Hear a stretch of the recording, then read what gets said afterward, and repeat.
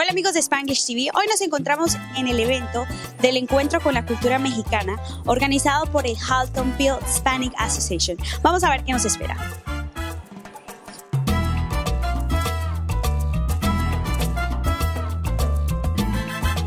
El día de hoy estamos presentando destilados de México. Este es un agave 100% salmiana del estado de Guanajuato. Es un mezcal joven tenemos un mezcal de Oaxaca, 100% agave espadín. Este es un mezcal reposado mezclado con mezcal añejo de tres años, ¿no? Entonces, esta es una joya de mezcal. Y aquí tenemos este tequila, Los Arango, de Guanajuato. Este es 100% agave azul.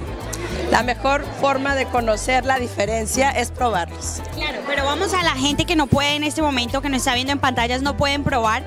Más o menos, ¿este a qué sabe?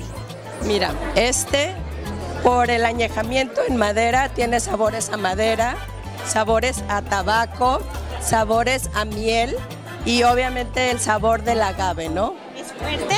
Es fuerte, pero a la vez es suave. La mejor forma de tomarlo es creando saliva primero mezclarlo para que de esa forma aprecies los sabores. ¿Este se toma tipo shot o lo, puedes revolver? Se recomienda derecho para apreciar los sabores. Ahora vamos a pasar a este. Bueno, ese sí es tequila. Este es tequila. Este es reposado seis meses en barrica. Por ser reposado también tiene sabores especiados. Se recomienda beberlo solo, ¿no? Y limoncito y sal. ¿Verdad? ¿No? Ahora este y este es un mezcal joven que puede eh, beberse solo o beberse en cóctel como lo estamos presentando el día de hoy, ¿no? O sea, esto se, se bebe con, con picante. Lo con... estamos presentando con, es, este, ajonjolí enchilado oh. y jugo de manzana, es característico de aquí, y eh, un mezcal joven, Harald de Berry. Ahora, ¿estas bebidas solo se consiguen en México o la gente que está aquí en Canadá también las puede conseguir? Estas tres bebidas están disponibles en las tiendas del LCBO.